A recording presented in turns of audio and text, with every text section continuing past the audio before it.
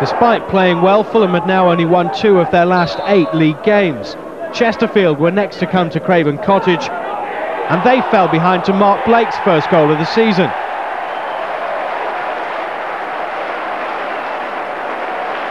But just as in the game against Northampton, Fulham couldn't make that lead count, and the visitors levelled not long into the second half.